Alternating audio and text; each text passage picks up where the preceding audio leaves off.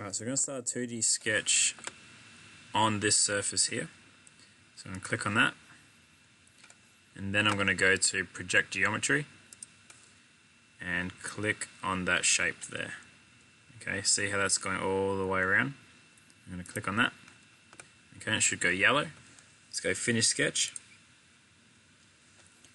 Okay, it's going to stay yellow. So what I need to do now is go to Plane here, but I want to click on the arrow underneath and go offset from plane.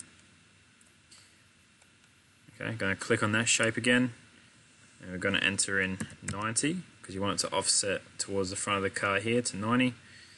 Okay, and this is completely up to you. If you wanted to make it go all the way to the front, okay, maybe you could make it, or maybe a little bit bigger. Let's do like 130 maybe. Okay, you could easily make it come up towards the front of the car. If you didn't want the nose of your car to be that big, let's just say you want to make your car a little bit lighter. Let's say you make it maybe 50. Okay, it's completely up to you how you want to design your car. Just for this demonstration, I'm just going to do 90, which is roughly in the middle there somewhere, and press OK. Okay, now what I'm going to do is start a sketch on that new plane that we've just made. Alright, so I've gone to Start 2D Sketch, and now I'm just clicking on this work plane. Alright, now I'm going to click on Slice Graphics, which is down the bottom here. Click on that, and it's going to slice my car so I can see what I'm drawing. Okay, what I'm going to do now is just go to the line tool, zoom in a little bit, and I want to keep this shape pretty similar to this shape here. Okay, I'm going to make the same kind of shape down here, making sure it's below the surface of the car. So that's the top surface of the body. I want to make sure it's all below in here. So we're going to start on this line here. Going to click, come down to about here. Right. Come across, go up 90 degrees just a little bit. I'm just going to go right click OK. So at the moment I've got a line from here to here, from here to here, and then here to here. So what I'm going to do is use the arc tool to finish this one off. So I'm going to click there, and I'm going to click at the top there, and then arc it around. Now can you see when I'm arcing, there's a little tangent um, icon that's coming up around here. Just watch that. Can you see how it's popping up? I'm going to wait until I can see it, which I can now, and then press my uh, left mouse. Okay.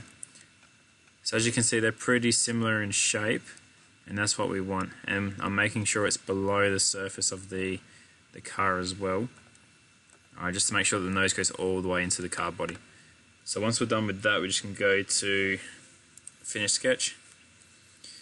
Alright, and now we're going to complete our loft. So I can see loft here, so I'm going to click on that.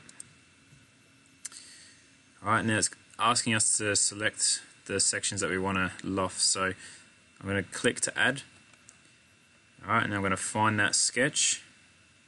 Okay, see when I highlight over sketch 3, this shape here lights up white. Okay, so I know that's right. So I want to click that.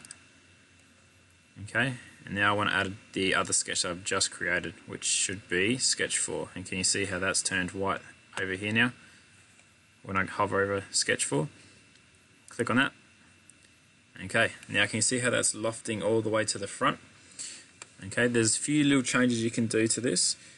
Um, if we just go to conditions, okay, you can now start to change the shape of that nose. At the moment, you can see it's starting off high and going directly down to the front.